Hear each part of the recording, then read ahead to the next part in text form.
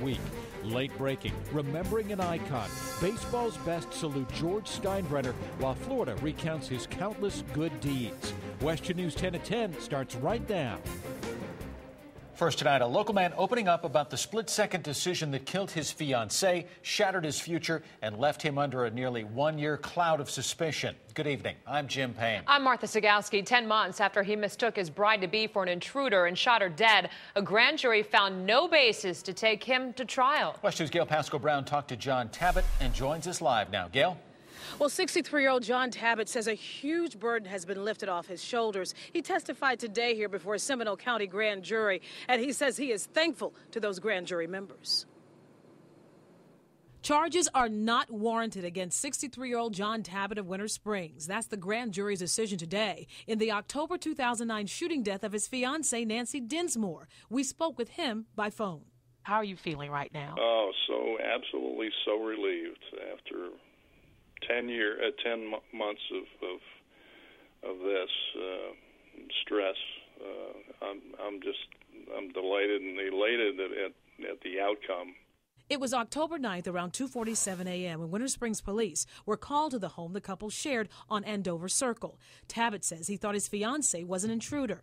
In that short 10 second span, I did what I thought was right. Uh, I did what I thought was was right to do. I understand. And and the grand jury felt, obviously felt the felt the same way. It's been difficult. Uh, it's truly been difficult for for people who have lost a, a loved one. Um, it's it's very very hard. To those who doubted his story, the question about whether whether or not he purposely did it, uh, you know, I, I find I find that really offensive. This this tragic accident uh, occurred, you know, the day before my wedding. Uh, to a lady that I loved, to have this this kind of ending uh, was just tragic. As you heard, John Tabbitt says it was very hard. He says to cope, he sought professional help as well as join a support group at his church. Now he says he's just really wanting to relax for a while.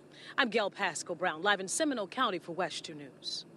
10 at 10, Casey Anthony's defense team putting critical evidence under the microscope. Attorneys and experts began their work today, and WESH 2's Bob Keeling was there to question them as they left the Orange County Sheriff's Office.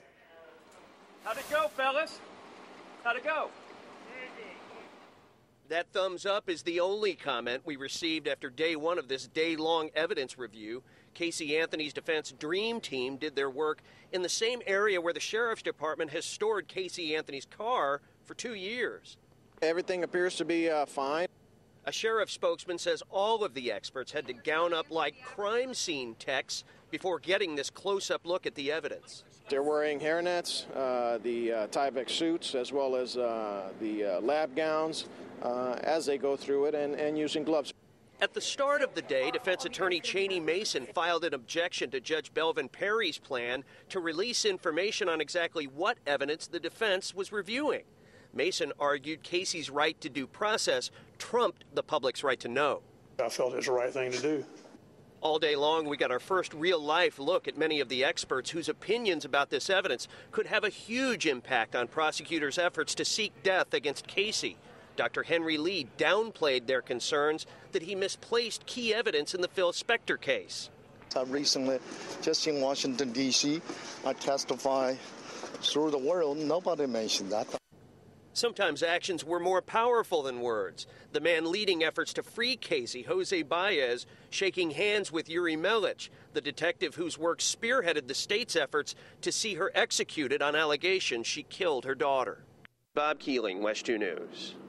For continuing coverage of the case against Casey, log on to our website. We have a list of everyone who's donated money to Casey's jail account, and we have a look at what she's recently purchased. Just head to WESH.com.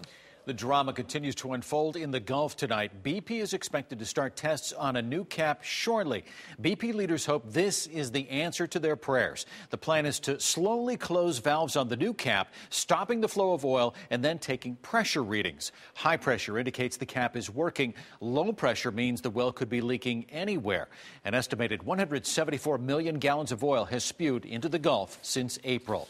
The Obama administration has sent another big bill BP's way. This time, the federal government is tagging the oil company for nearly $100 million in damages. Three previous bills totaling 122 million have already been paid in full. The money goes to cleanup and recovery efforts. No deal. Suspended Orange County Commissioner Mildred Fernandez has rejected a plea bargain. The Orlando Sentinel reporting her attorney turned down the offer because several felony charges would still stand.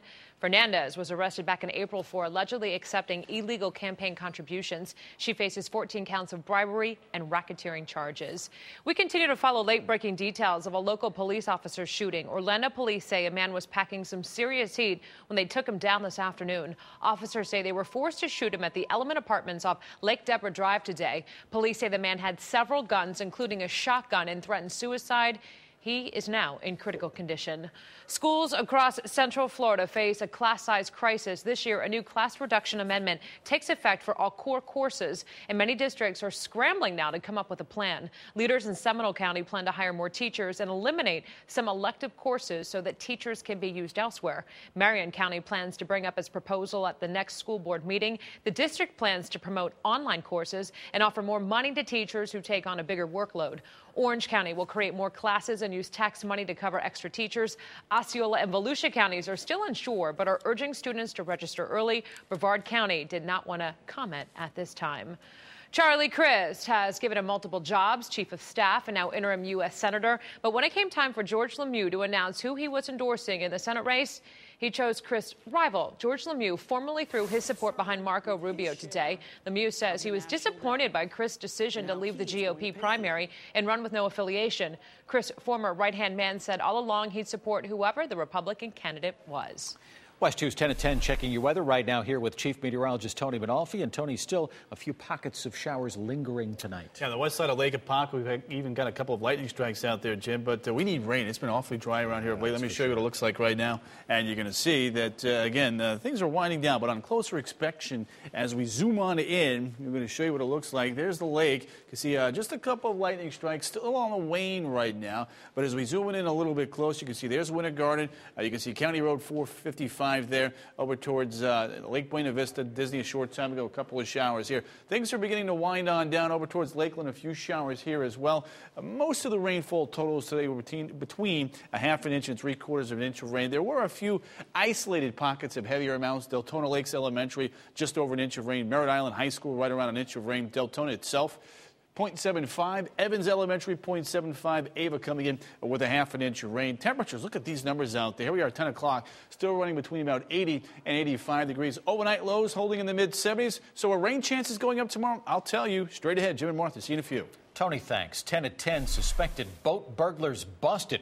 26 year old Eduardo Lazo and 25 year old Stephen Miro were arrested off Brevard County. Detectives think both men broke into nine yachts in New Smyrna Beach, making off with thousands of dollars in electronics, fishing gear, and booze. First, she tried to burn the house down with her husband in it. When that didn't work, she shot him in the chest. Those are the arguments the prosecution is putting forward in the trial of Kimberly Boone. Today, her husband took the stand. Robert Boone says his wife told him to check the garage one night in March 2009, claiming she heard an intruder.